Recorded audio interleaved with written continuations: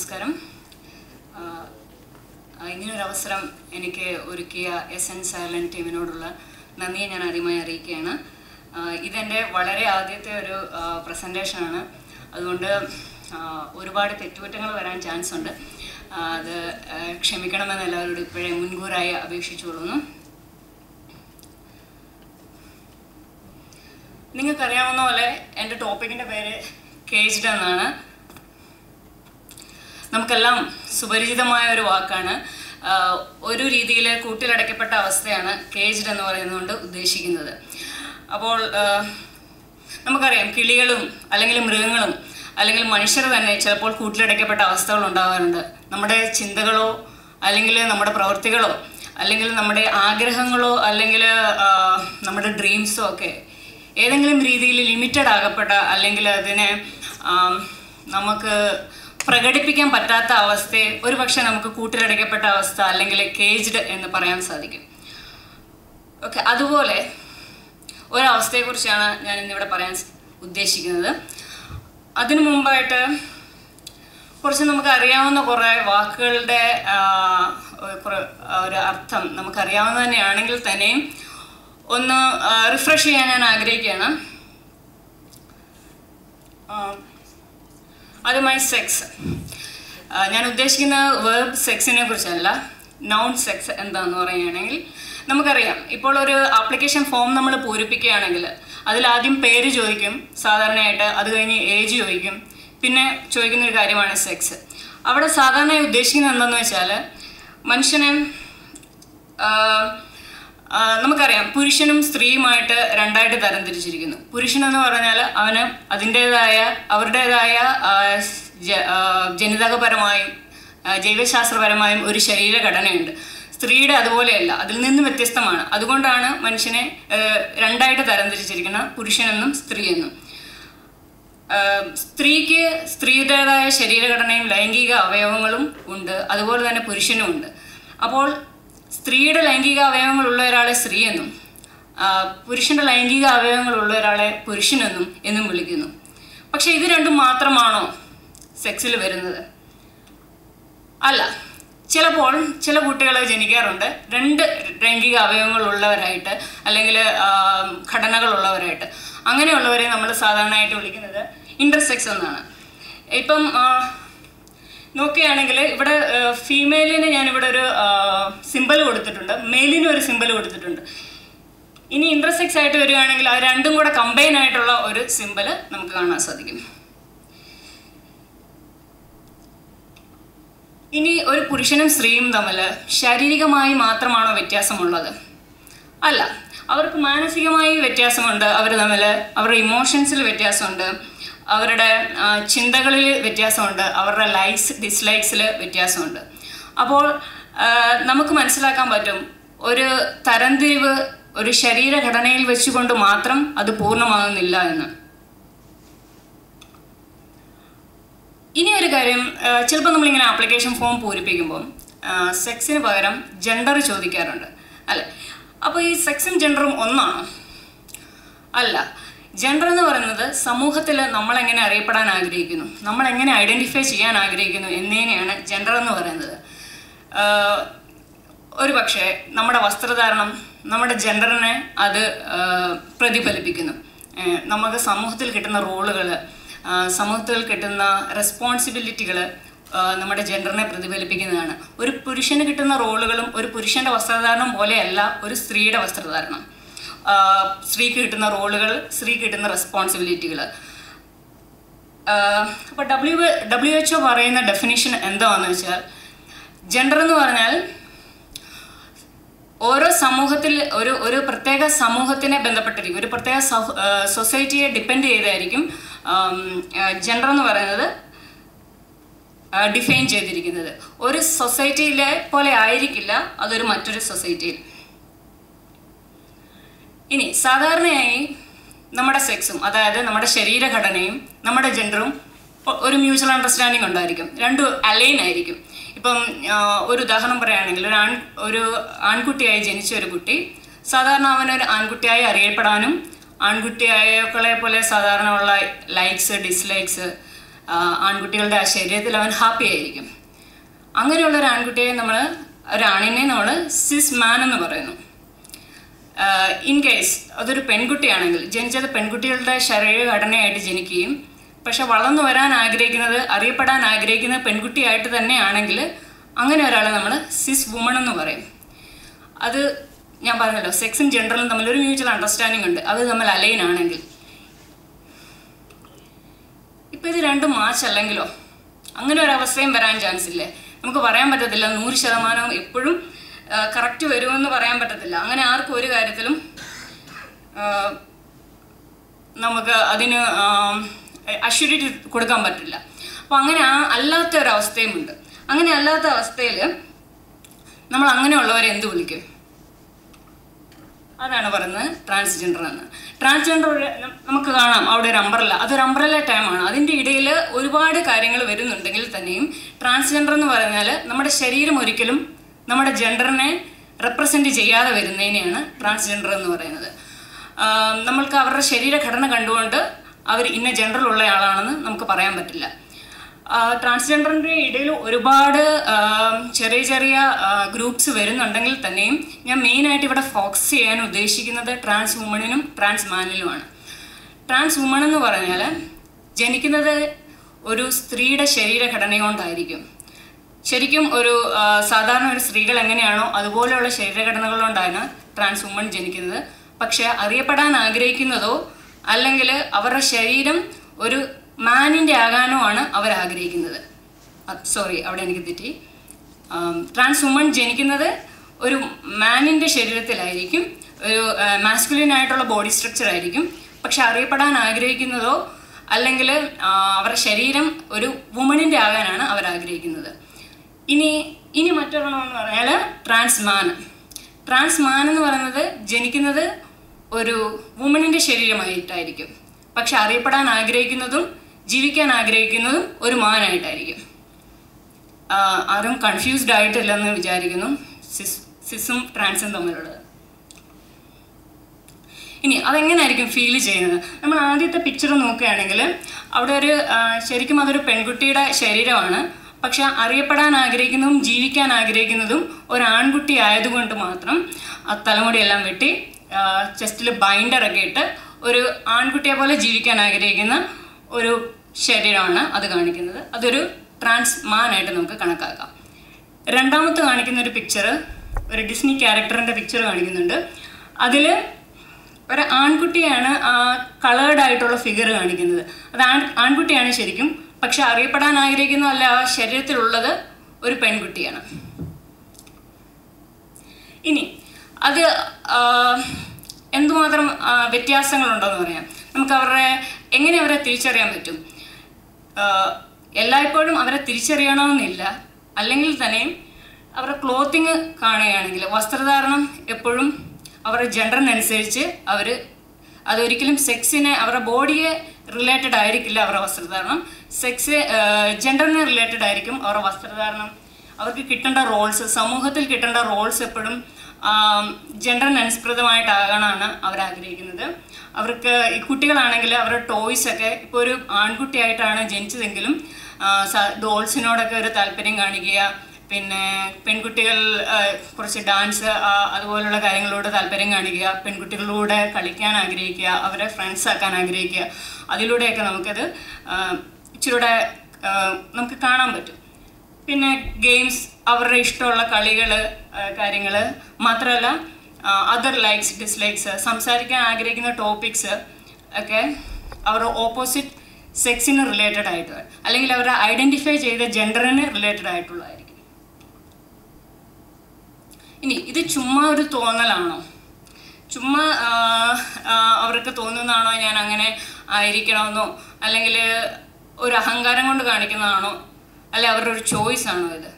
പക്ഷേ അല്ല എന്നാണ് ഉത്തരം. കാരണം സയൻസ് അതിന് നല്ല പ്രൂവ് അതിന് തക്കതായ പ്രൂവ് പ്രൂവ്സ് കാണിക്കുന്നുണ്ട്. നമുക്ക് എന്തൊക്കെയാണ് സയൻസ് ഇതിനെക്കുറിച്ച് പറയാനുള്ളതെന്ന് നോക്കാം.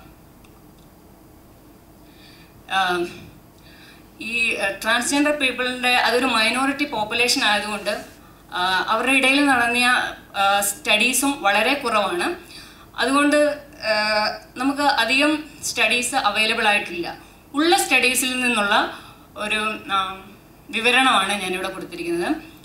First brain structure brain structure trans വുമണിൽ നടത്തിയ ബ്രെയിൻ സ്ട്രക്ചറിൽ അവർക്ക് മനസ്സിലാക്കിയായിരുന്നു ട്രാൻസ് വുമൺ എന്ന് പറഞ്ഞാൽ ഒന്നുകൂടെ ഞാൻ റിഫ്രഷ് ചെയ്യാൻ പറയുകയാണ്. ട്രാൻസ് വുമൺ എന്ന് പറഞ്ഞാൽ അവരുടെ ബോഡി എപ്പോഴും പുരുഷന്റെതായിരിക്കും. പക്ഷേ അവരറിയപ്പെടാനും ജീവിക്കാനും ആഗ്രഹിക്കുന്നത് ഒരു വുമൺ ആയിട്ടാണ്.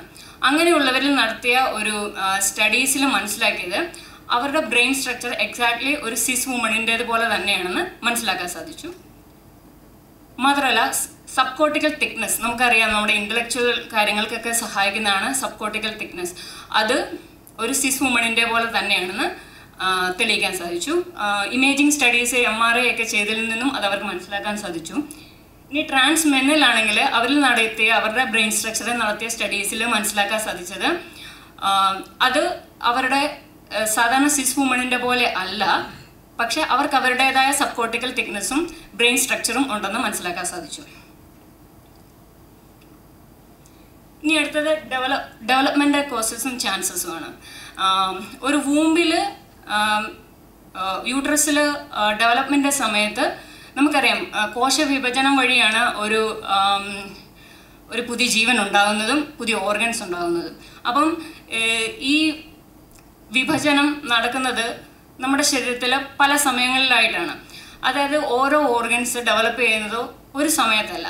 ചിലപ്പോൾ നമ്മുടെ ജനൈറ്റൽ ഓർഗൻസ് ഡെവലപ്പ് ചെയ്തതിന് സാധാരണയായിട്ട് ഒരു പ്രഗ്നൻസിയുടെ ഫസ്റ്റ് ടു മന്ത്സിലാണ് ജനേറ്റൽ ഓർഗൻസിന്റെ സെക്സ് ഡിഫറൻഷിയേഷൻ നടക്കുന്നത്. പക്ഷേ ബ്രെയിനിന്റെ സെക്സ് ഡിഫറൻസിയേഷൻ നടക്കുന്നത് പ്രഗ്നൻസിയുടെ സെക്കൻഡ് ഹാഫിലാണ് അതായത് ബ്രെയിനും ബ്രെയിനിൽ സെക്സിന്റെ ഓറിയന്റേഷൻ നടക്കുന്നതും ജനേറ്റൽ ഓർഗൻസിൽ സെക്സ് ഓറിയന്റേഷൻ നടക്കുന്നതും ഡിഫറെന്റ് ടൈമിലായിരിക്കും അപ്പം എപ്പോഴും അത് സെയിം എൻവയോൺമെന്റ് തന്നെ കീപ്പ് ചെയ്യണമെന്ന് ഇല്ല. ഇപ്പോൾ ഉദാഹരണമായിട്ട് പറയുകയാണെങ്കിൽ സാധാരണ ഒരു മാസ്കുലിൻ ബോയ് അല്ലെങ്കിൽ ഒരു സിസ് ബോയ് ജനിക്കുന്നത് അതിനെക്കുറിച്ച് കൺസിഡർ ചെയ്യുകയാണെങ്കിൽ അവന്റെ ഫസ്റ്റ് ടു മന്ത്സിൽ പ്രഗ്നൻസിയിലെ ഫസ്റ്റ് ടു മന്ത്സിൽ സെക്സ് ഡിഫറൻസിയേഷൻ നടക്കുകയും അത് ജനേറ്റൽ ഓർഗൻസിൽ നടക്കുന്ന ആ സമയത്ത് ടെസ്റ്റോസ്റ്ററോണിന്റെ അളവ് കൂടുതലായിരിക്കും. ടെസ്റ്റോസ്റ്ററോണിന്റെ അളവാണ് അതിനെ പുരുഷനായിട്ട് ഒരാളെ തീരുമാനിക്കുന്നത് പുരുഷനാണോ സ്ത്രീയാണോ? അപ്പോൾ സെക്സ് ഓർഗൻ സെക്സ് ഓർഗന്റെ ഡെവലപ്മെന്റ് സമയത്ത് ടെസ്റ്റോസ്റ്ററോണിന്റെ എമൗണ്ട് കൂടുതലായതുകൊണ്ട് അവിടെ ഉണ്ടാകുന്ന ഓർഗൻസ് പുരുഷ ഓർഗൻ ആയിരിക്കും. പക്ഷേ രണ്ട് മാസം ഞാൻ പറഞ്ഞില്ല സെക്കൻഡ് ഹാഫ് ഓഫ് ദ പ്രഗ്നൻ പ്രഗ്നൻസിയിൽ ബ്രെയിൻ ഡെവലപ്മെന്റിന്റെ സമയത്തും ടെക്സ് ടെസ്റ്റോസ്റ്ററോണിന്റെ ലെവൽ അതുപോലെ തന്നെ മെയിന്റെയിൻ ചെയ്യുന്നതുകൊണ്ട് മാസ്കുലൈനൈസേഷൻ ഓഫ് ദ ബ്രെയിനും നടക്കും. ബ്രെയിനിലുള്ള പുരുഷ സ്ട്രക്ചറിന്റെ പുരുഷ ബ്രെയിൻ സ്ട്രക്ചർ ഉണ്ടാകാൻ അത് സഹായിക്കുകയും ചെയ്യും. പക്ഷെ നോർമൽ സിസ് വുമണിലാണെങ്കിൽ ടെസ്റ്റോസ്റ്ററോണിന്റെ അളവ് ഈ രണ്ട് സമയത്തും കുറവായിരിക്കും. അതുകൊണ്ട് ഫെമിനിറ്റി ആയിരിക്കും ഫീമെയിൽ ജനറൽ ഓർഗൻസ് ഉണ്ടാകുകയും ബ്രെയിൻ ഫെമിനൈൻ ബ്രെയിൻ ആകുകയും ചെയ്യും. ഇൻ കേസ് ഇത് കറക്റ്റായിട്ട് നടന്നില്ലെങ്കിലോ? ഞാൻ പറഞ്ഞു. ഫസ്റ്റ് ടു മന്ത്സിൽ ഓർഗൻസിന്റെ ഡെവലപ്മെന്റിന്റെ സമയത്ത് ടെസ്റ്റോസ്റ്ററോൺ ലെവൽ ഹൈ ഉണ്ടാകുകയുണ്ടെങ്കിൽ ഓട്ടോമാറ്റിക്കലായിട്ട് ജനേറ്റൽ ഓർഗൻസ് പുരുഷന്റെതായിരിക്കും പക്ഷേ ആ ഹൈ ലെവൽ ബ്രെയിൻ ഡെവലപ്മെന്റിൽ സമയത്ത് മെയിന്റെയിൻ ചെയ്യാൻ സാധിച്ചില്ലെങ്കിൽ എന്ത് സംഭവിക്കും? ഫെമിനൈൻ ബ്രെയിൻ സ്ട്രക്ചർ ഉണ്ടാവും. അപ്പം ഓപ്പോസിറ്റ് ആകും അലൈൻ ചെയ്യാൻ സാധ്യമില്ല. നമ്മുടെ ബ്രെയിനും സെക്സ് ഓർഗനും അലൈൻ ആവില്ല അങ്ങനെ ഒരു ട്രാൻസ് വുമൺ ജനിക്കുന്നു. അതുപോലെ തന്നെ ഒരു ട്രാൻസ് മാനും ജനിക്കുന്നു. ഇനി ഒരു സ്റ്റഡീസിൽ കണ്ടുപിടിച്ചതാണ്. മെയിൽസിൽ അവരുടെ ഡെവലപ്മെന്റിന്റെ സമയത്ത് ഫൈവ് ആൽഫ റിഡക്റ്റേസ് എന്നുള്ള ഒരു കമ്പോണന്റിന്റെ ഡെഫിഷ്യൻസി മൂലം ഡെവലപ്മെന്റിന്റെ സമയത്ത് ടെസ്ട്രോസ്ട്രോൺ കൺവേർഷൻ നടക്കാതെ വരുന്നു. അതുമൂലം മാസ്കുലിനിറ്റി നടക്കില്ല. ജനേറ്റൽ മാസ്കുലിനിറ്റി നടക്കത്തില്ല. അപ്പോൾ ഉണ്ടാകുന്ന ഓർഗൻസ് ഫെമിനൈൻ ആയിട്ടുള്ള ഓർഗൻസ് ഉണ്ടാകുകയും ലേറ്റർ അവർ ജനിച്ച് വളർന്നു വരുമ്പോൾ അവർ കണ്ടുപിടിക്കുകയാണ് ഐഡന്റിഫൈ ചെയ്യുകയാണ് എന്റെ ജെൻഡർ ഇതല്ല എന്ന് ഐഡന്റിഫൈ ചെയ്യുകയും വീണ്ടും സർജറി എന്തെങ്കിലും ചെയ്ത് ട്രാൻസിഷൻ ചെയ്ത് അവർ അവർക്ക് ഐഡന്റിഫൈ ചെയ്ത ജെൻഡറിലേക്ക് മാറുകയും ആണ് ചെയ്യുന്നത്. പിന്നെ ജനറ്റിക്സിൽ എന്തെങ്കിലും റോൾ ഉണ്ടോ എന്ന് ചോദിച്ചാൽ ട്വിൻ സ്റ്റഡീസ് നടന്നിട്ടുണ്ട്. അതിൽ നമുക്കറിയാം നോൺ ഐഡന്റിക്കൽ ട്വിൻസും ഐഡന്റിക്കൽ ട്വിൻസും ഐഡന്റിക്കൽ ട്വിൻസ് എന്ന് പറഞ്ഞാൽ സെയിം സൈഗോട്ടിൽ നിന്ന് വളർന്നു വരുന്ന ട്വിൻസ് ആണ്. അവരെ കണ്ട ഒരുപോലെ ഇരിക്കും. നോൺ നോൺ ഐഡന്റിക്കൽ ട്വിൻസ് എന്ന് പറഞ്ഞാൽ ഡിഫറെന്റ് ആയിട്ടുള്ള സൈഗോട്ട്സിൽ നിന്ന് ഉണ്ടാകുന്ന കുഞ്ഞുങ്ങളാണ്. മുപ്പത്തിമൂന്ന് ശതമാനം ഐഡന്റിക്കൽ ട്വിൻസിൽ രണ്ടുപേരും ട്രാൻസ്ജെൻഡേഴ്സ് ആയിട്ട് കണ്ടുപിടിച്ചിട്ടുണ്ട്. അതുപോലെ തന്നെ നടത്തിയ സ്റ്റഡീസിൽ ടു പോയിന്റ് സിക്സ് പെർസെന്റേജ് മാത്രമേ ഉള്ളൂ രണ്ട് രണ്ട് പോയിന്റ് ആറ് ശതമാനം മാത്രമേ ഉള്ളൂ നോൺ ഐഡന്റിക്കൽ ട്വിൻസിൽ അവർ ട്രാൻസ്ജെൻഡേഴ്സ് ആയിട്ട് ഉണ്ട് എന്ന് തിരിച്ചറിഞ്ഞിട്ടുള്ളൂ. അതിൽ നിന്ന് തന്നെ നമുക്കറിയാം ജനറ്റിക്സിന് ഇവിടെ ഒരു നല്ല റോളുണ്ട്. സൊസൈറ്റിക്ക് അല്ല അല്ല വീട്ടിൽ വളർത്തുന്നത് കൊണ്ടല്ല അവർ ആൺകുട്ടിയോ അല്ല പെൺകുട്ടിയോ അല്ല ട്രാൻസ്ജെൻഡറോ ആകുന്നതെന്ന്. ഇനി അടുത്താണ്. അപ്പം വളരെ ഇത് വളരെ ഈസിയുള്ള കാര്യമൊന്നുമല്ല ട്രാൻസ്ജെൻഡർ ആയിട്ട് ജീവിക്കുക എന്നുള്ളത്. കാരണം നമ്മുടെ ശരീരം നമ്മൾ ഇഷ്ടപ്പെടുന്ന രീതിയിലല്ല പോകുന്നത്. നമ്മുടെ മനസ്സ് ഇപ്പം ഇൻ കേസ് മനസ്സ് എന്ന് പറയുകയാണെങ്കിൽ മനസ്സ് നമുക്ക് ഇഷ്ടപ്പെടുന്ന രീതിയിലും അല്ല പോകുന്നത്. അല്ലെങ്കിൽ മനസ്സ് ഇഷ്ടപ്പെടുന്ന രീതിയിലല്ല ശരീരം പോകുന്നത്. അലൈനല്ല അവിടെ. അപ്പോൾ ഉണ്ടാകുന്ന ഡിസ്ട്രെസ് ഒരു ഭയങ്കരമായിരിക്കും. നമുക്ക് ഇഷ്ടപ്പെട്ടുള്ള ഭക്ഷണം അല്ല ഇഷ്ടപ്പെട്ടുള്ള വസ്ത്രം ഇടാനോ നമുക്ക് ഇഷ്ടമുള്ള രീതിയിലുള്ള പ്രോനോൺ കേൾക്കാനോ നമുക്ക് ഇഷ്ടമുള്ള റോൾ കിട്ടാനോ ഒക്കെ ഭയങ്കര ബുദ്ധിമുട്ടായിരിക്കും. ആരും അക്സെപ്റ്റ് ചെയ്യില്ല. അവർ പറയും നീ ജനിച്ചത് ഇങ്ങനെയാണ് ഇങ്ങനെ തന്നെ ജീവിക്കാനാണ്. എല്ലാവരും പറയുള്ളൂ. അപ്പോൾ അപ്പോൾ ഉണ്ടാകുന്ന ഡിസ്ട്രസ് എന്ന് പറയുന്നത് അത് വളരെയധികമാണ്. അതിനെ പറയുന്നതാണ് ജെൻഡർ ഡിസ്ഫോറിയ ഇത് ഈ അവസ്ഥ കൊണ്ടുണ്ടാകുന്ന ആ ഡിസ്ട്രസ്സിന് പറയുന്നതാണ് ജെൻഡർ ഡിസ്ഫോറിയ ഇത് മാത്രമാണ്. ജെൻഡർ ഡിസ്ഫോറിയൽ എന്തൊക്കെ വരും നമുക്ക് സാധാരണ? നോക്കുകയാണെങ്കിൽ ഡിപ്രഷൻ വരും.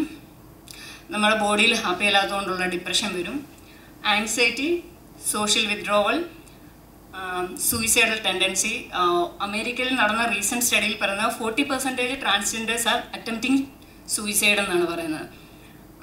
പിന്നെ frustration angry feeling not fit in feeling ashamed സൊസൈറ്റിയെ face ചെയ്യാനുള്ള ബുദ്ധിമുട്ട് ഫാമിലിയെ ഫേസ് ചെയ്യാൻ കൂട്ടുകാരെ ഫേസ് ചെയ്യാൻ സോഷ്യൽ ഗ്യാതറിങ്സ് ഒക്കെ അവോയ്ഡ് ചെയ്യുക മാക്സിമം വിഡ്രോ ചെയ്ത് വീട്ടിലിരിക്കുക. പിന്നെ avoiding relations other related issues നോക്കുകയാണെങ്കിൽ കൾച്ചറലായിട്ട് ഇഷ്യൂസ് ഉണ്ടാവും. നമ്മ നമ്മൾക്ക് നമ്മുടെ സംസ്കാരം ഇതിനൊന്നും നമ്മളെ സമ്മതിക്കത്തില്ല. പിന്നെ റിലീജിയസ് ഇഷ്യൂസ് റിലീജിയൻ ഒരിക്കലും ഇതിന് സപ്പോർട്ടല്ലായിരിക്കും കാരണം റിലീജിയന് ഇതിനൊന്നും ഒരു സൊല്യൂഷൻ ഇല്ലാത്തതുകൊണ്ട്. റിലീജിയൻ ഒരുപാട് റീസൺസ് തരാൻ പറ്റും. പാവം ചെയ്തുകൊണ്ടാണ് അല്ലെങ്കിൽ ഇതൊരു ശാപമാണ്. എന്നൊക്കെ ഒരു ഒരുപാട് റീസൺസ് തരാൻ പറ്റുമായിരിക്കും. പക്ഷെ ഒരിക്കലും ഒരു സൊല്യൂഷൻ തന്ന് നമ്മളെ രക്ഷിക്കാൻ പറ്റില്ല. അല്ലെങ്കിൽ നമ്മളെ സഹായിക്കാൻ പറ്റില്ല. പിന്നെ എംപ്ലോയ്മെന്റ് ഇഷ്യൂസ് എംപ്ലോയ്മെന്റൽ ഇഷ്യൂസ് എന്ന് പറഞ്ഞാൽ ഒരുപാട് പേർക്ക് ജോലി ഈ ഒരു കാരണത്താൽ കിട്ടാതെ പോയിട്ടുണ്ട്. പിന്നെ ബുള്ളിങ് അതുപോലുള്ള കാര്യങ്ങൾ. അതും മെയിനായിട്ട് കുട്ടികൾ അവർ സ്കൂളിൽ പോകുമ്പോൾ അവർക്ക് ഇതുപോലുള്ള ബുള്ളിങ് നേരിടേണ്ടി വരാറുണ്ട്.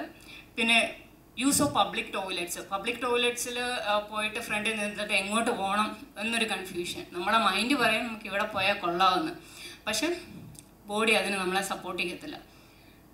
പിന്നെ ഫാമിലി റിജക്ഷൻ എല്ലാ ഫാമിലിയും ഇതൊന്നും അക്സെപ്റ്റ് ചെയ്യണമെന്നില്ല എന്റെ ഒരു ഫ്രണ്ട് തന്നെയാണെങ്കിൽ ഞാൻ ഞാനൊരു ട്രാൻസ്മാനാണ് എന്റെ ഒരു ഫ്രണ്ട് ഇതുപോലെ ഒരു ട്രാൻസ്മാൻ ഫാമിലിയിൽ പറഞ്ഞു ഞാൻ ട്രാൻസ്മാൻ ആണെന്ന് പറഞ്ഞപ്പോൾ അവരൊരിക്കലും അക്സെപ്റ്റ് ചെയ്യില്ല എന്ന് പറഞ്ഞു. എന്നിട്ട് പറഞ്ഞത് നമ്മുടെ വീടിന് എനിക്കിതുപോലെയുള്ളവരെ അറിയാം. വീട്ടുകാർ പറഞ്ഞാണ് ഞങ്ങൾക്ക് ഇതുപോലെയുള്ളവരെ അറിയാം ഇങ്ങനെ ഉണ്ടെന്നും എനിക്കറിയാം പക്ഷെ നമ്മുടെ വീടിനും നമ്മുടെ സംസ്കാരത്തിനും ഒന്നും ഇത് ചേരില്ലെന്ന്. അങ്ങനെയുള്ള ഫാമിലിയിൽ വളരാതിരിക്കുന്നത് തന്നെയാണ് ഏറ്റവും നല്ലതെന്ന് എനിക്ക് തോന്നുന്നു. ഇനി അടുത്തത് ഐസൊലേഷൻ. ഇതുപോലുള്ള ഗ്യാതറിങ്സിൽ നിന്നും റിലേഷൻസിൽ നിന്നും എല്ലാം മാറി നിൽക്കുമ്പം ഓട്ടോമാറ്റിക്കലി നമുക്ക് സോഷ്യൽ ഐസൊലേഷൻ ഉണ്ടാകാറുണ്ട്. ഇനി പ്രിവാലൻസ് നോക്കുകയാണെങ്കിൽ ഇതിനെക്കുറിച്ച് അധികം അധികമൊന്നും സ്റ്റഡീസും സർവേസും ഒന്നും ഇന്ത്യയിൽ നടന്നിട്ടില്ല. പിന്നെ എല്ലാം നടക്കുന്നത് യു എസിലായതുകൊണ്ട് കുറച്ച് സ്റ്റഡീസ് നടന്നതിന്റെ ഒരു ചെറിയ ഒരു ടേബിൾ ഇവിടെ ഉണ്ട് ടൂ തൗസൻഡ് സിക്സിന് മുമ്പ് നടന്ന ടു തൗസൻഡ് സിക്സ്റ്റീന് മുമ്പ് നടന്ന ഒരു സ്റ്റഡിയിൽ അവർ പറയുന്നത് ഒരു ലക്ഷത്തിൽ മുന്നൂറ്റി തൊണ്ണൂറ് പേർക്ക് ട്രാൻസ്ജെൻഡർ ആയിട്ട് ഐഡന്റിഫൈ ചെയ്തിട്ടുണ്ടെന്നാണ്. ടു തൗസൻഡ് സിക്സ്റ്റീനിൽ നടന്നൊരു സ്റ്റഡിയിൽ അത് അറുന്നൂറായി കൂടി ഒരു ലക്ഷത്തിൽ അറുന്നൂറ് പേര്. ഇനി ടു തൗസൻഡ് സിക്സ്റ്റീനിൽ മിനസോട്ടയിലുള്ള ഒരു സ്കൂളിൽ അഡോളസൻസിന്റെയും ടീനേജേഴ്സിന്റെ ഇടയിൽ നടന്ന ഒരു സ്റ്റഡിയിൽ അത് മനസ്സിലാക്കിയത് രണ്ടായിരത്തി എഴുന്നൂറ് പേര്. ഒരു ലക്ഷത്തിൽ രണ്ടായിരത്തി എഴുന്നൂറ് പേർക്ക് ട്രാൻസ്ജെൻഡർ ആയിട്ട് കണ്ടെടുത്തി. അപ്പോൾ ഇതിൽ നിന്ന് നമുക്ക് മനസ്സിലാക്കാവുന്ന ഒരു കാര്യം എന്താണെന്ന് വെച്ചാൽ കൂടുതലും യങ്സ്റ്റേഴ്സാണ് ഞങ്ങൾ അങ്ങനെ ആണ് എന്ന് അക്സെപ്റ്റ് ചെയ്തിട്ട് മുന്നോട്ട് വരുന്നത്. പിന്നെ ഒരു കാര്യം ടൈം മുന്നോട്ട് കാലം പോകുന്നതിനനുസരിച്ച് ആൾക്കാർക്ക് അതിനെ അക്സെപ്റ്റ് ചെയ്യാനുള്ള ആ മനസ്സും ഉണ്ടാകുന്നുണ്ട് അവർ അതിനെക്കുറിച്ചുള്ള നോളജ് ഇമ്പ്രൂവ് ചെയ്യുന്നുണ്ട്. ഇനി ഇത് ഈ ഡിസ്ട്രസ്സിനും ഈ പ്രശ്നങ്ങൾക്കൊക്കെ ഒരു പരിഹാരം ഇനി തേടി നമ്മൾ പോവുകയാണെങ്കിൽ നമുക്ക് സയൻസ് ഒരു പരിഹാരം പറയുന്നുണ്ട്. അല്ലെങ്കിൽ മെഡിക്കൽ മെഡിക്കൽ തെറാപ്പി ഒരു പരിഹാരം പറയുന്നുണ്ടെന്ന് വെച്ചാൽ hormonal therapy general reassignment surgery hormonal therapy ഇപ്പോൾ ഇൻ കേസ് ഒരാൾ ജനിക്കുന്നത് ഒരു ഫീമെയിൽ ബോഡിയിൽ ജനിക്കുന്നു. ജനിച്ചു കഴിഞ്ഞ് പുരുഷനായിട്ട് അറിയപ്പെടാൻ ആഗ്രഹിക്കുന്ന ഒരാൾക്ക് ടെസ്റ്റോസ്റ്ററോൺ സ്റ്റാർട്ട് ചെയ്യുവാൻ മാസ്കുലൈൻ ഹോർമോൺ ഇൻ കേസ് അവർക്ക് ഫർദർ റീഅസൈൻമെന്റ് സർജറിക്ക് പോകണമെന്ന് ആഗ്രഹമുണ്ടെങ്കിൽ ജെൻഡർ റീഅസൈൻമെന്റ് സർജറി ചെയ്യുന്നു. ഇൻ കേസ് അത് വുമൺ ആണെങ്കിൽ അതായത് ട്രാൻസ് വുമൺ ആണെങ്കിൽ ഫസ്റ്റ് അവർ ഈസ്ട്രോജൻ തെറാപ്പി സ്റ്റാർട്ട് ചെയ്യുന്നു. പിന്നെ ജെൻഡർ റീഅസൈൻമെന്റ് സർജറിക്ക് പോകുന്നു. ഇത് കംപ്ലീറ്റ് മാൻ ആവുമെന്നോ കംപ്ലീറ്റ് വുമൺ ആവുമെന്നോ എനിക്ക് അല്ല പറയുന്നത്. അങ്ങനെ ഒരു കംപ്ലീറ്റ് മാനോ വുമണോ ഉണ്ടെന്നും എനിക്ക് തോന്നുന്നില്ല. അപ്പം ഇത് സെൽഫ് സാറ്റിസ്ഫാക്ഷൻ കിട്ടുന്നു സമൂഹത്തിലൊരു അക്സെപ്റ്റൻസ് കിട്ടുന്നു. ഇത് കുറച്ച് ട്രാൻസ്ജെൻഡർ സെലിബ്രിറ്റീസ് ആണ്. ഫസ്റ്റ് കാണുന്നത് നമുക്കെല്ലാം ആയിരിക്കും ജേമി ജേമി എന്ന് പറയുന്ന യു കെയിലുള്ള യൂട്യൂബറാണ് അതിന്റെ ഫസ്റ്റ് ഫോട്ടോ കാണിക്കുന്നത് pre treatment second post treatment second കാണിക്കുന്ന ഫോട്ടോയിൽ ചാസ് ബോൺ എന്ന് പറയുന്ന അമേരിക്കൻ ഓതറാണ് അത് വുമണായിട്ട് ജനിച്ചു ട്രാൻസിഷൻ ചെയ്ത് മാൻ ആയതാണ്. മൂന്നാമത് കാണിക്കുന്നത് ജാസ് എന്ന് പറയുന്നൊരു പെൺകുട്ടിയാണ്. അത് അമേരിക്കയിലുള്ളതാണ്. L G B T Q activist ആണ്. വളരെ ചെറിയ പ്രായത്തിൽ തന്നെ കണ്ടെത്തുകയും ട്രീറ്റ്മെന്റ് സ്റ്റാർട്ട് ചെയ്യുകയും ട്രാൻസ് വുമണായിട്ട് ജീവിക്കുകയും ചെയ്യുന്നു. പിന്നെ ലാസ്റ്റ് കാണുന്ന കുറേ അതർ സെലിബ്രിറ്റീസ് ആണ് ആ, പിന്നെ ഇത് കുറച്ച് സംഘടനകളാണ്. ഇന്റർനാഷണൽ ഓർഗനൈസേഷൻസ് ആണ് ട്രാൻസ്ജെൻഡേഴ്സിനെ സപ്പോർട്ട് ചെയ്യുന്നത്. International foundation for gender education gate start ചെയ്തത് ടു തൗസൻഡ് നയനിലാണ് പിന്നെ world professional association for transgender health പിന്നെ ഇന്ത്യയിലുള്ളതാണ് സഹോദരി ഫൗണ്ടേഷൻ എന്ന് പറയുന്നത്. പിന്നെ എന്തൊക്കെ കാര്യങ്ങൾ നമുക്ക് ബാക്കിയുള്ള സമൂഹത്തിന് റിമെമ്പർ ചെയ്യാമെന്ന് വെച്ചാൽ നമുക്ക് ഒരാളെ അണ്ടർസ്റ്റാൻഡ് ചെയ്യാനോ ഒരാളെ റെസ്പെക്റ്റ് ചെയ്യാനോ അയാളുടെ ഐഡന്റിറ്റി അറിയണമെന്ന് ആവശ്യമില്ല. എല്ലാവരും അങ്ങോട്ടും ഇങ്ങോട്ടും റെസ്പെക്റ്റ് ചെയ്യുക. ഇനി ഒരാളുടെ ഐഡന്റിറ്റിയെക്കുറിച്ച് നമുക്ക് ഡൗട്ട് ഉണ്ടെങ്കിൽ ഇൻ കേസ് ഒരാളെ അഭിസംബോധന ചെയ്യാൻ നമുക്ക് ഡൗട്ട് ഉണ്ടെങ്കിൽ നമുക്ക് ഡയറക്റ്റ് ആയിട്ട് ചോദിക്കാം എങ്ങനെയാണ് ഞാൻ നിന്നെ അഭിസംബോധന ചെയ്യേണ്ടതെന്ന്. ഇനി ഒരു കാര്യം അവിടെ ഒരു റൈറ്റ് വേ ഇല്ല. ട്രാൻസ്ജെൻഡർ ആകാൻ ഇങ്ങനെ ഒരു റൈറ്റ് വേ ഇല്ല. ഇങ്ങനെ ആയാൽ മാത്രമേ നീ ട്രാൻസ്ജെൻഡർ ആവൂ. അല്ലെങ്കിൽ സർജറി ചെയ്താൽ മാത്രമേ അല്ലെങ്കിൽ ഹോർമോണൽ ട്രീറ്റ്മെന്റ് ചെയ്താൽ മാത്രമേ നീ ട്രാൻസ്ജെൻഡർ ആവുകയോ ഒന്നുമില്ല. എല്ലാ ട്രാൻസ്ജെൻഡേഴ്സും ഹോർമോണൽ തെറാപ്പിക്ക് പോകാറില്ല. എല്ലാവരും ഒന്നും സർജറിക്കും പോകാറില്ല. Then continue to educate yourself ഇത് നമ്മൾ ഓരോ ഇതുപോലെ പുതിയ ജെൻഡേഴ്സും പുതിയ സെക്സും ഒക്കെ കണ്ടുപിടിക്കുമ്പം ആൾക്കാരെ മൈനർ പോപ്പുലേഷൻ ആണെന്ന് പറഞ്ഞ് അവരെ സെപ്പറേറ്റ് ചെയ്യാതെ നമ്മുടെ നോളജ് കൂടുന്നതിനനുസരിച്ച് മറ്റുള്ളവരെ എഡ്യൂക്കേറ്റ് ചെയ്യുകയും അവരെയും കൂടെ സമൂഹത്തിന്റെ ഒരു ഭാഗമാക്കാനും ശ്രമിക്കുക. ഇങ്ങനെ ചെയ്യുന്നതിലൂടെ നമുക്ക് ആ കേജ് ഓപ്പൺ ചെയ്യാൻ പറ്റും. ആ കേജ് ഓപ്പൺ ചെയ്ത് ഒരുപാട് ബേർഡ്സിനെ നമുക്ക് ഫ്രീ ചെയ്യാൻ സാധിക്കും. ഇനി എന്റെ ജീവിതത്തെക്കുറിച്ച് പറയുകയാണെങ്കിൽ ഞാൻ ഞാൻ പറഞ്ഞല്ലോ ഞാനൊരു ട്രാൻസ്മാനാണ് ഞാനൊരു ട്രീറ്റ്മെന്റ് ഇതുവരെ സ്റ്റാർട്ട് ചെയ്തിട്ടില്ല. ഹോർമോണൽ തെറാപ്പിയോ അല്ലെങ്കിൽ സർജറിക്കോ ഒന്നും ഇതുവരെ സ്റ്റാർട്ട് ചെയ്തിട്ടില്ല. ഞാൻ ജനിച്ചപ്പോൾ ഒരു പെൺകുട്ടി ജനിച്ചതിനാൽ എന്നെ അതുപോലെ വളർത്തി എനിക്കൊരു പേര് തന്നു അക്സ. ഒരു വളരെ ചെറിയ കാലത്ത് തന്നെ എനിക്ക് എന്റെ ഐഡന്റിറ്റി മനസ്സിലായിരുന്നു. പിന്നെ എനിക്ക് എന്റെ വസ്ത്രങ്ങളൊന്നും ഞാൻ അതിൽ ഹാപ്പി ആയിരുന്നില്ല. എനിക്ക് കിട്ടിയിരുന്ന ഫ്രോക്സോ അല്ലെങ്കിൽ എന്താണേലും എന്താണേലും ഗേൾസ് തിങ്സേ ഉള്ളൂ കിട്ടുള്ളൂ. അതിലൊന്നും എനിക്ക് ഹാപ്പി അല്ലായിരുന്നു. എന്റെ ഫീമെയിൽ പ്രോണോൺ എനിക്ക് ഇഷ്ടമല്ലായിരുന്നു. ഇഷ്ട ഇപ്പോഴും അല്ല. പക്ഷേ ഇപ്പം ശീലമായി കേട്ട് കേട്ട്. പിന്നെ ഗേളിഷ് എൻവയോൺമെന്റ് എനിക്ക് ഒരിക്കലും പൊരുത്തപ്പെടാൻ പറ്റാത്ത ഒരു സാഹചര്യമായിരുന്നു. പിന്നെ എനിക്കൊരു സെലിബ്രേഷൻസും ഹാപ്പിനെസ് തന്നില്ല. ഒരു ക്രിസ്മസ് വന്നാലും ഓണം വന്നാലും ഒന്നും ഹാപ്പി ആയിരുന്നില്ല. കാരണം എനിക്കറിയാം കിട്ടാൻ പോകുന്ന ഗിഫ്റ്റ്സ് എനിക്കൊരിക്കലും ഹാപ്പി ഹാപ്പിനെസ് തരുന്നതല്ല എന്ന്. പിന്നെ ഞാൻ ഇതിലൊന്നും എക്സൈറ്റഡും ആയിരുന്നില്ല. അപ്പം പ്രൈമറി ക്ലാസ്സിൽ വെച്ച് തന്നെ ഞാനൊരു എന്തെങ്കിലും മിറാക്കിൾ ഞാൻ ഒരു റിലീജിയനിൽ വിശ്വസിക്കുന്ന ആളായിരുന്നു. അപ്പോൾ എന്തെങ്കിലും ഒരു മിറാക്കിൾ എന്റെ ജീവിതത്തിൽ ഒരു ദിവസം സംഭവിക്കുമെന്ന് ഞാൻ പ്രതീക്ഷിച്ച് കാത്തിരുന്നു. പക്ഷെ ഒന്നും നടന്നില്ല. ഒരു പക്ഷേ ഞാൻ വിചാരിച്ചു എന്റെ ഗ്രോത്ത് വളരെ സ്ലോ ആയിരിക്കും. എനിക്കിങ്ങനെ എന്റെ പുറകിലുള്ള സയൻസും കാര്യങ്ങളൊന്നും അന്ന് അറിയില്ലായിരുന്നു. അതുകൊണ്ട് ഞാൻ കരുതി ഒരു പക്ഷേ എന്റെ ഗ്രോത്ത് സ്ലോ ആയിരിക്കുമെന്ന്. പക്ഷേ ഞാൻ വിചാരിച്ചു ഒരു പ്രായം എത്തുമ്പോൾ എന്റെ ഓർഗൻസ് ഒരു maybe male organs develop ചെയ്യുമെന്നോ അങ്ങനെ ആകുമെന്നോ ഒക്കെ ഞാൻ കരുതി. പക്ഷെ നടന്നു ഓർഗൻസ് ഡെവലപ്മെന്റ് ആയി. പക്ഷെ വിചാരിച്ചതുപോലെയല്ല എന്ന് മാത്രം. പിന്നെ ഞാൻ പറയുകയാണെങ്കിൽ ബോഡിയിൽ ഫെമിനിറ്റി അതിന്റെ സംഹാര താണ്ഡവം ആടുകയാണ് ചെയ്തത് ഒരു ടീനേജ് ഒക്കെ ആയപ്പം. അപ്പോഴാണ് ഒരുപാട് സങ്കടം തന്ന സമയങ്ങളാണ്. കാരണം നമുക്ക് ഷെയർ ചെയ്യാനൊന്നും ഒരുപാട് ആൾക്കാരില്ല. ആരും തന്നെ ഇല്ല. ഫാമിലിയിൽ ആരുമില്ല. ഫ്രണ്ട്സ് ഇല്ല. ഇതിനെക്കുറിച്ച് അറിയാവുന്ന ആരുമില്ല. ഒരു വീഡിയോ പോലും ഇതിനെക്കുറിച്ചില്ല അപ്പം എനിക്ക് പറയാൻ പേടിയുണ്ടായത് ഒരുപക്ഷെ എന്റെ അഹങ്കാരമായിട്ട് കരുതും. സമൂഹത്തിനെതിരെ നിൽക്കുന്നു റിലീജിയനെതിരെ നിൽക്കുന്നു സംസ്കാരത്തിനെതിരെ നിൽക്കുന്നു എന്നേ ഉള്ളൂ എല്ലാവരും പറയുള്ളൂ. അപ്പം അതിനെ ഒരു അഹങ്കാരമായിട്ട് കാണും. അല്ലെങ്കിൽ ഒരു ചാൻസ് ഉള്ളത് മാനസിക രോഗമായി പറയാം. കാരണം നമുക്ക് സൊല്യൂഷൻ ഇല്ലാത്തതിനെല്ലാം നമ്മൾ അവർക്ക് മാനസിക രോഗമാണ് പറയാറുള്ളൂ സാധാരണയായിട്ട്.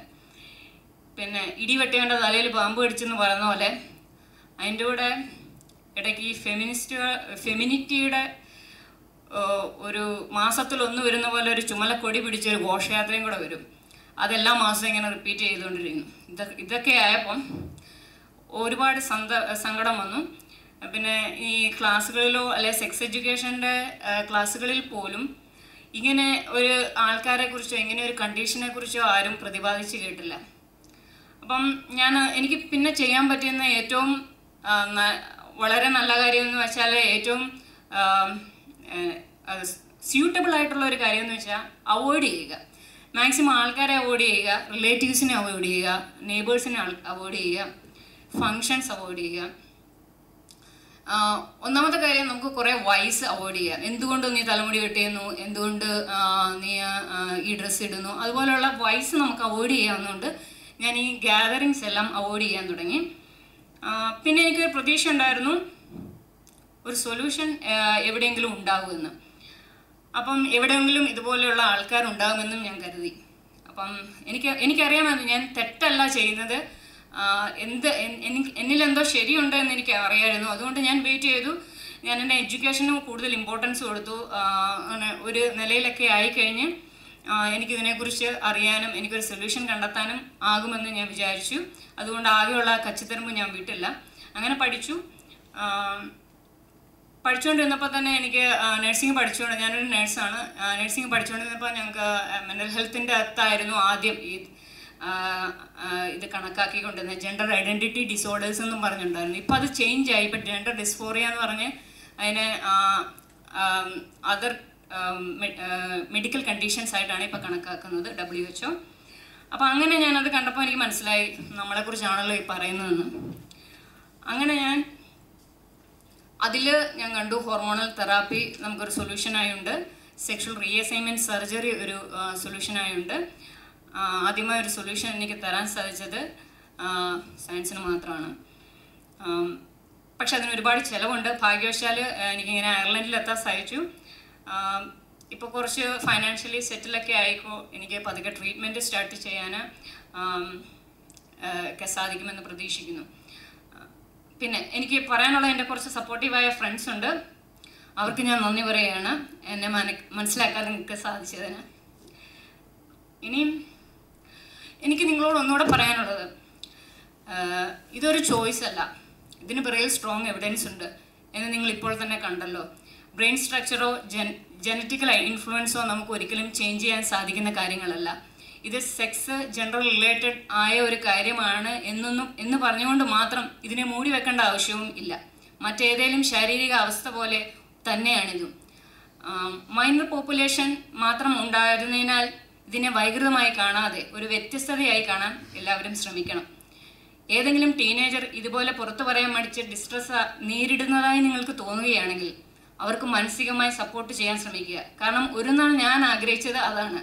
എന്റെ സ്കൂളിലോ വീട്ടിലോ അങ്ങനെ ഒരു സപ്പോർട്ടറിനെ ഞാൻ പറഞ്ഞതുപോലെ നാൽപ്പത് ശതമാനം ട്രാൻസ്ജെൻഡേഴ്സ് സൂയിസൈഡൽ അറ്റംപ്റ്റ് ചെയ്യുന്നു എന്നാണ് പഠനങ്ങൾ സൂചിപ്പിക്കുന്നത്.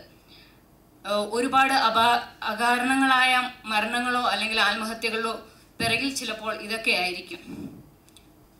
നമ്മുടെ കാലുകൾ കൂടിച്ചേരുന്ന ഇടത്തിന് മാത്രം കുത്തകയാകപ്പെട്ടിരുന്ന നമ്മുടെ ജെൻഡർ തീരുമാനിക്കാനുള്ള അവകാശം. അതിലും എത്രയോ സങ്കീർണമാണ് ജെൻഡർ എന്ന് മനസ്സിലാക്കി കഴിയുമ്പോൾ ജെൻഡറിന് ഒരുപാട് നിറങ്ങൾ വരുന്നു. പിങ്കും ബ്ലൂവും മാത്രമല്ല. സോ പിങ്കിലും ബ്ലൂവിലും അപ്പുറം നിറങ്ങൾ കാണാനും അംഗീകരിക്കാനും നമുക്ക് കഴിയട്ടെ എന്ന് ആശംസിക്കുന്നു. താങ്ക്